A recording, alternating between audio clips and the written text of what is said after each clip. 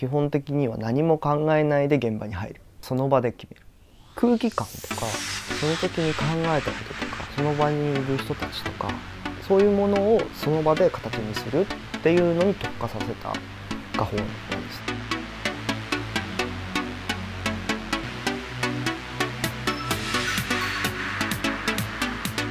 To paint life with many people, yes, I enjoy it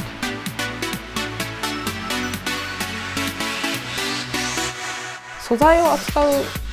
作品を作ってるんで不思議な素材を見るとちょっとテンション上がります。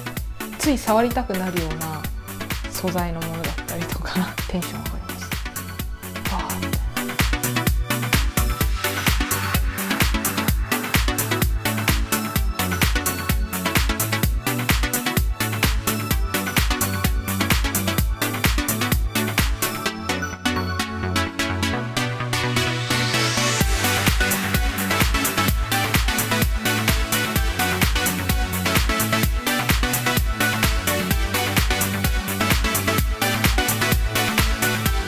が降ったけど楽しかったリアル感が一番いい雨が降る暑い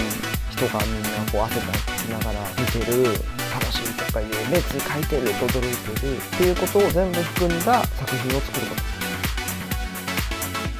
One of which I like most is that with to draw or illustrate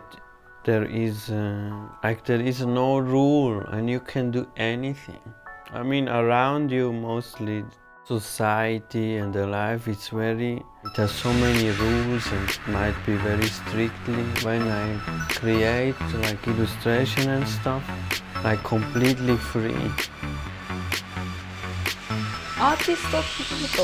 自分をこう自己表現してるとかそういうイメージがもしかしたらあるのかもしれないんですけど、まあ、もちろんそういう方もいると思いますけど私の場合はあんまりこう自分の内側を表現してるとかそういう感じではなくてその作品を通じてこう他人との関わりを持てるような作品を作りたいなとはいつも思ってます。この3人のやっていることに言語は一切必要ない。もう見ただけでこう心に訴えるアートワークをやってます。ので世界の大きな都市で彼らのライブアートワークができたらいいなというふうに考えてます。まあそれが私の夢の一つです。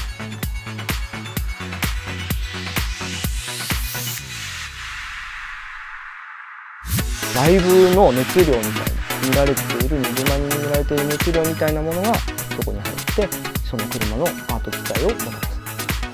デザインをされてないその勢いでその場で組み立てられたものがその熱を含んでそれこそアートじゃないかっていうのが提案ができた